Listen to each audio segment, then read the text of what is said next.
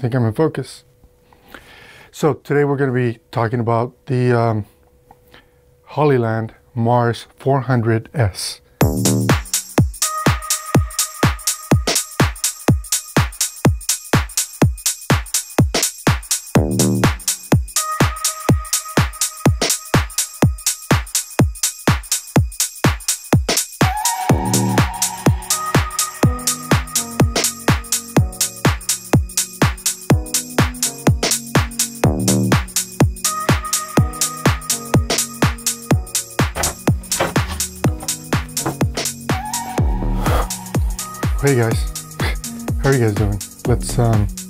Get some light going in here so we can see what we're doing. Yeah, it's been uh, it's been a bit, right? So today we are doing a video that's going to be a little bit different, a little bit different than what we've done before. And you know what? I should finish these lights here. Let's see. So make the difference. Are my lights not working? Whoa, there we go. Okay, so sound. Can you guys hear me? I hope you guys can hear me. Let me just double check. All right, test one, two, three. Yeah, this sounds fine. Let me put my little lavalier microphone away here. Oh, some clothing noise. Gonna have to get that fixed in post production. Um, if you guys hear it, let me know. And last but not least, we should make sure that I am actually in focus. This is where I want to be standing. And let's, there we go. I think that's a lot better. What do you guys think? Am I in focus? I think I'm in focus. So today we're going to be talking about the um, Hollyland Mars 400S. It's a wireless transmission system, which is the reason why this is all set up. And let's fire that up. So I turn it on on the camera. Let's turn this monitor on. And the transmitter is right behind the monitor. So, yep, there we go. Hollyland. Just double check my focus once again since I'm moving around. There we go. Okay, so this wireless transmitter, I believe, is the perfect hybrid transmitter for all of us content creators, but then also anyone who shoots with a crew that has, you know, maybe one to two or even three people on the crew because it makes it really, really convenient. And I know everybody's going to want to know can you actually pull focus with the Hollyland Mars 400S? And the answer is yes. and I know that there are a lot of other videos from other people who've done reviews with the Hollyland Mars 400 where they'll tell you there's latency. And clearly, you guys are seeing some of that now. This monitor doesn't have SDI input, so this monitor is being plugged in with HDMI. The camera that I'm shooting on is a red 8K helium. That is sending off an SDI signal into the Hollyland Mars 400. So SDI in, HDMI out. And the fact of the matter is, is that different cameras, just like different monitors, have different speeds for their HDMI. And that's the reason why you get latency. The actual device themselves, they only really have about a two frame, maybe four frame, between two and four frame delay, which really means you are in fact able to pull focus, just like I pull focus. In fact, I'll show you guys again. Here, I am out of focus very out of focus. And now I'm going to go back into focus.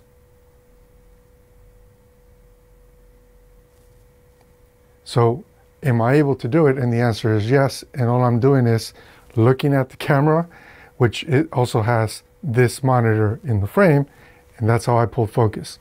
So can you pull focus? The answer is yes. The other thing is if you're an indie filmmaker, right? And let's say that you're working on a passion project or maybe a short film or some other sort of narrative piece that you might be working on. Are you working with actors? Because if you are, then actors know that they need to hit their marks, right?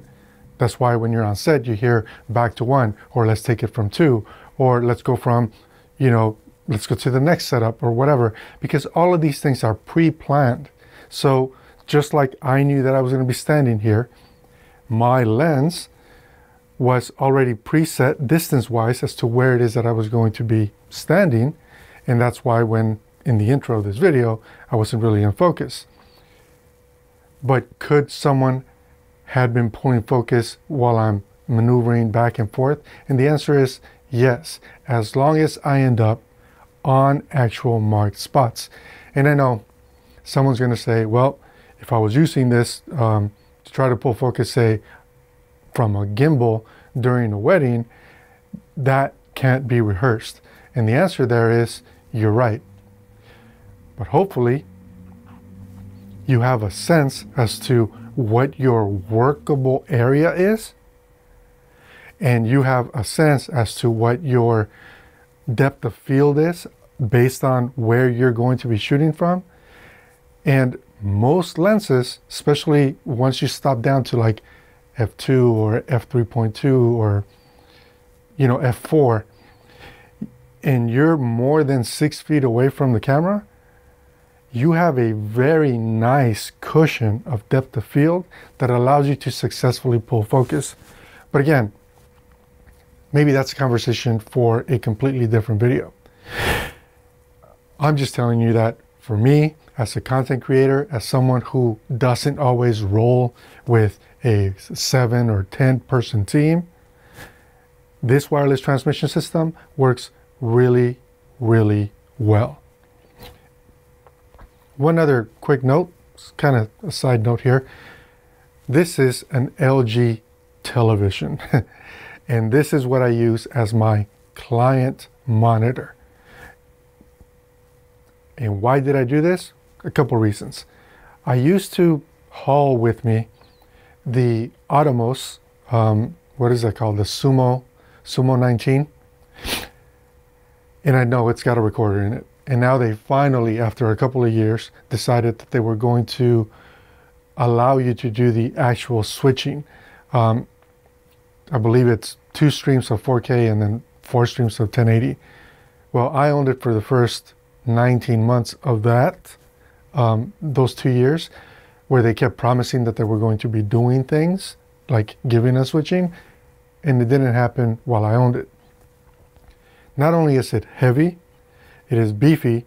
It is still made out of plastic. But it has fans that are loud. and when I mean loud, I mean they're loud enough to be distracting. If you're, say the microphone is, um, I'm the talent, right? So let's say that, well, I'm the talent in this scenario. So let's say that this is the exact scenario and the monitor is maybe six feet in either direction, I could still hear the fans. That's how loud that monitor is and why it is that I decided I'm going to switch to this, which by the way, it costs less than 150 bucks and it works really well. The only thing is, I can't battery power it.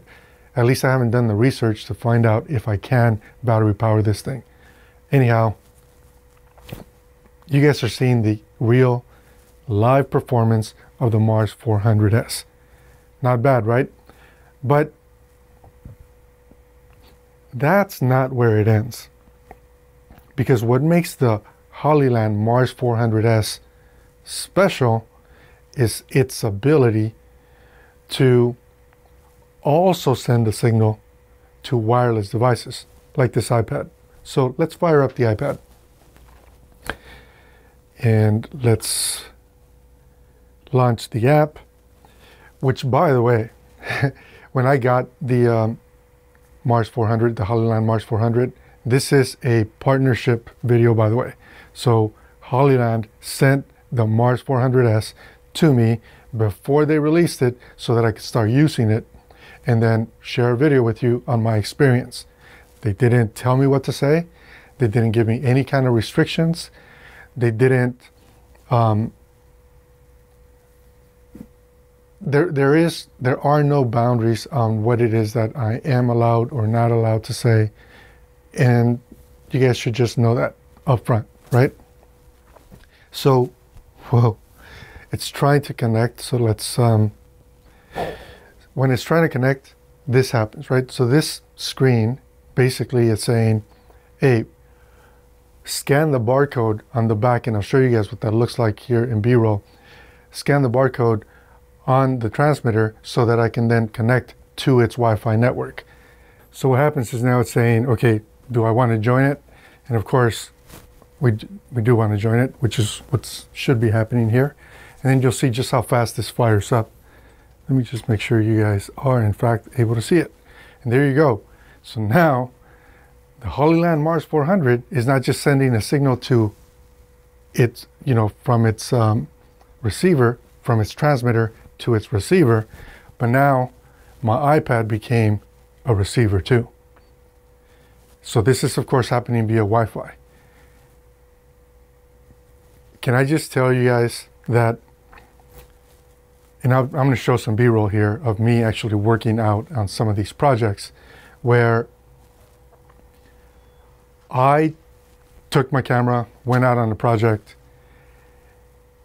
I brought production monitors, I brought client monitors, but it was an event and the room was so crowded that I essentially had a five foot by three foot workspace area available to me. And the manager who was overseeing this entire project had half of the space that I had available to them. So there was no way I'm going to give them a monitor. And I also don't have like one of those director monitors where you, you can just put it over your, your neck and then, you know, allow it to dangle here. Um, I don't have one of those.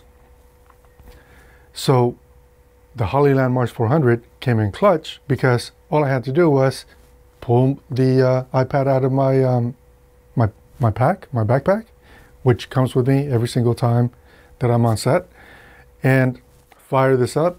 I hand them the iPad, and all of a sudden, they are able to monitor what it is that I'm doing and get them that extra confidence that what I needed to capture for them for that project was actually going to happen. There's just no other way around it. Now, if we want to compare, and I know that there are other systems that allow you to send signals via Wi Fi, Trust me, I know this. The one that Teradek makes, which is the Server Pro, Teradek Serve Pro or Server Pro, something like that. It's basically a Teradek unit. It's blue and it allows other devices to connect to it via Wi-Fi, like an iPad, very similar, right? When they announced it, they were actually going to make two different versions. The Teradek Serve and then Teradek Serve Pro. The serve was going to limit how many devices, like I think it was one, maybe two devices that could connect to it. And then the Serve Pro was going to allow, I believe, four devices. And if I'm wrong, somebody please uh, correct me in the comments to actually connect to it. As it turns out, they only released the most expensive one, and that one happens to be in excess of $1,200 for Wi Fi, right? This system that allows us to do not just SDI, not just HDMI, but both, and then also Wi-Fi cost in the $600 range. I think it's like 640 or 630 something. The prices vary just a little bit, so you guys might want to check out what that actually looks like in the link below. But this very inexpensive unit that has what I would consider low latency gives me 99% of the functionality of a Teradek unit, which by the way, the Serve Pro also has latency. So not only am I keeping more money in my pocket, but I'm also given the ability now to expand into other systems. And when I say expand, this Hollyland Mars 400 system gives you the ability to buy another receiver so you can have one transmitter from whatever the camera is and two different receivers connected to the same system while at the same time doing Wi-Fi connections. It's pretty good, right? Now, you are limited to four Wi-Fi devices. And in fact, why don't we fire up my my phone? This is the iPhone 11 Pro Max. And let me just get the app here going. Hollyview. Let's see if this connects by itself. But this way we could see both. So it's asking me to scan again. So I'm gonna have to go do this. So bear with me one second. Okay, and just like before, I'm now asked if I want to join, which I will. And then here you guys will see just how fast this fires up. Well, I should turn my volume down because, of course, these transmitters, or the transmitter actually transmits both video and audio. Now, when you're doing, I'm going to double check my focus because, you know, I moved. So, and this, and I'm shooting this by myself. Here we go. There are a couple of limitations, right, that you guys should know about. One of them is if you're connecting via HDMI from your camera and then transmitting it, you're able to do 1080 60p. If you're doing SDI, you're doing 1080 24p. So just know that. I know that um, that probably isn't going to be a deal breaker for anyone with Canon cameras. Um, one thing that you guys might want to be aware of again is the fact that Canon cameras straight up output in actually I'm going to regress a little bit. The Canon C-line of cameras like the C300 Mark II and the C200 have the ability to output 1080 60p or in the C300 Mark II case it can also output 4K. If you're outputting 4K, know that the transmitter is not going to be able to read the signal. So just be aware of that. A couple other notes. So I use the big beefy batteries and I'll show you guys what these what I'm talking about here in B-roll. The big beefy batteries last me a good five hour shoot without needing to change the batteries. So I do turn off the camera, you know, when I'm like, let's say I, I, have a setup and we get all the shots that we need from that setup. I do turn it off and I also turn off the transmitter. Then once we have the second setup up and running, then the transmitter and the camera, of course, all get fired up again. So there is a little bit of that, but just know that you can count on at least four of those hours with the transmitter and receiver working without actually dropping the signal. This combination, you know, transmitter to receiver, the 400 line of sight range that is advertised, I would say is solid. The Wi Fi, if you guys know how Wi Fi works, where essentially it's all the traffic and then it kind of dodges itself out of the way um, to allow other traffic to go through. That is not as stable in longer distances or with multiple walls in between the transmitter and then the these devices. In this building where I'm at now, which is my studio, we have three, six, nine. We have nine Wi Fi networks going, and we have Wi Fi security cameras all across the entire building. So this is congested, but it's not like, you know, downtown Los Angeles in the middle of all the different skyrises congested, but it is congested Wi Fi space. When I've been out with clients and I've handed them my iPad so that they can monitor, I have yet to see the signal drop. It hasn't dropped. I was on a project where I was um, doing a shoot and it took me from indoors to outdoors. It's a little bit of run and gun type of shoot um, where I had to go outdoors and get some some additional clips, like a establishing shot of the location where I was at. And I went through three different walls. They're all brick walls.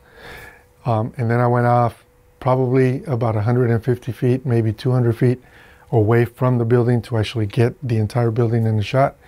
That did cause the Wi Fi signal to drop, but not this guy.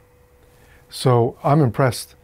Um, if you need or you have a bigger crew or you're working on a larger project and you need more distance or you're trying to get a wireless transmission from, say, a drone that might be carrying your um, your red uh, Monstro up to get an establishing shot, this system probably isn't the right system. But then also, if that's your kind of budget, then spring for the more expensive systems. And by the way, Hollyland has a number of them that you guys can choose from. So I'll be sure to put links on all that stuff down in the notes. What are other highlights that you guys should know about this? So great battery life, great flexibility with the types of signals that it can input as well as output. Obviously, this ability to do this um, with via Wi-Fi is extra special, right?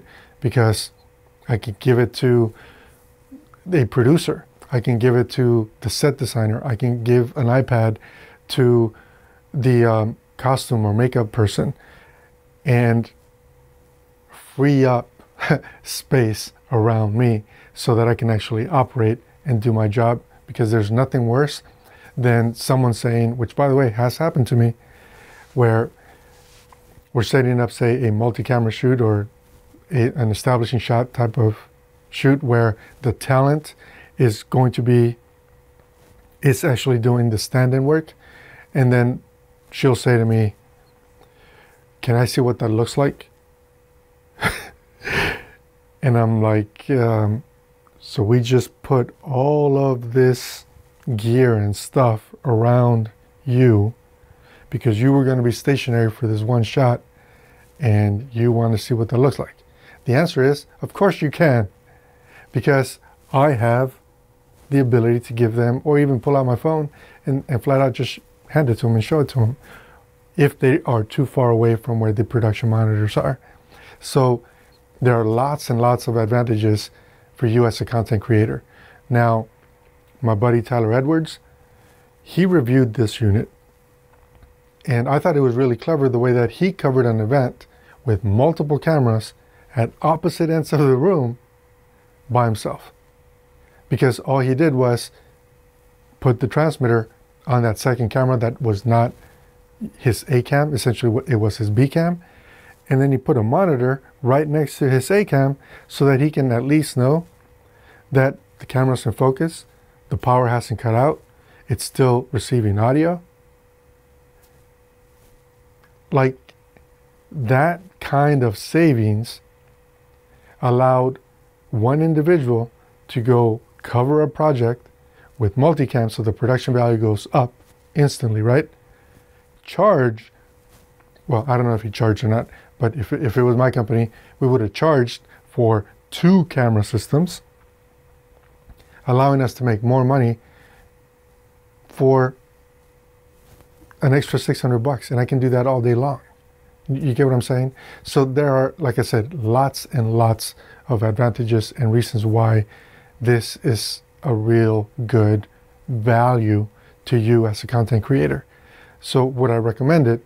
And the answer is I would, because you guys may remember a while back I did a review on the Mars um, 300, which does not offer the Wi-Fi features.